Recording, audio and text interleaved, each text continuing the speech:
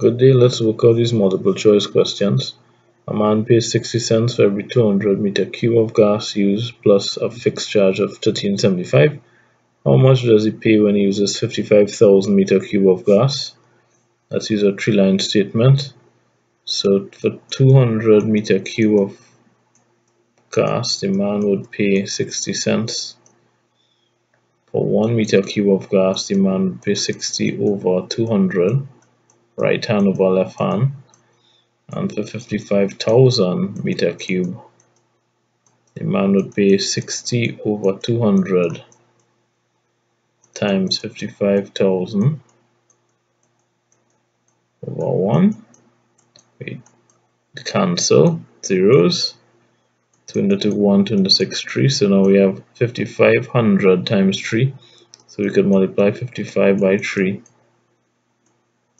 5500 by 3 so we have 0 0 5 3s are 15 5 3s are 15 and 1 is 16 so you would pay 16,500 cents which is really 165 dollars.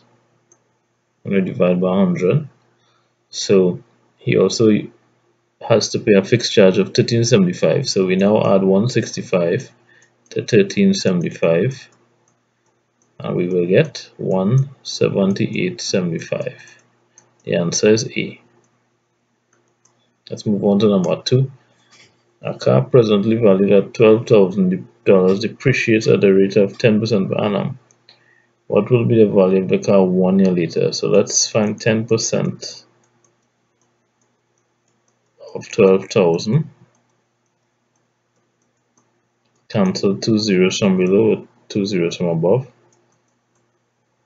120 times 10 is 1200 so this is how much money a car would depreciate by in one year per annum means one year. So after one year the car will be valued 12,000 subtract 1200 so we work that out and we get 10,800 which is part A.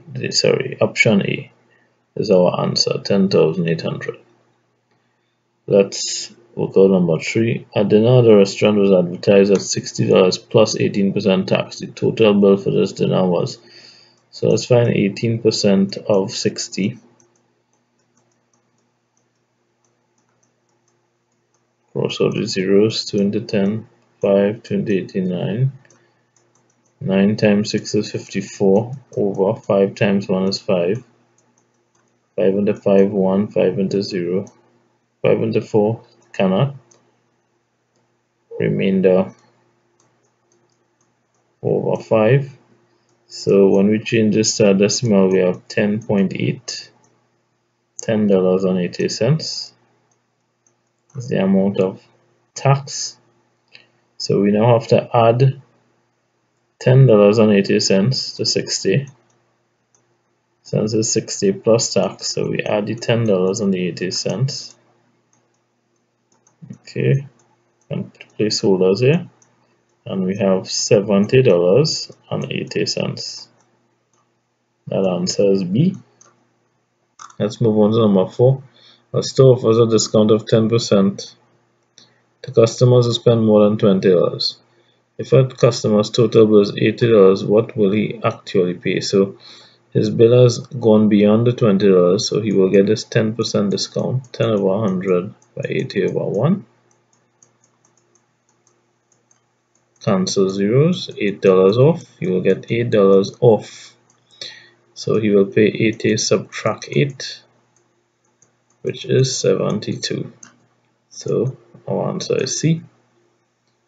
There are 40 students in a er class. Girls make up 60% of the class. 25% of the girls in the class wear glasses. How many girls in the class wear glasses?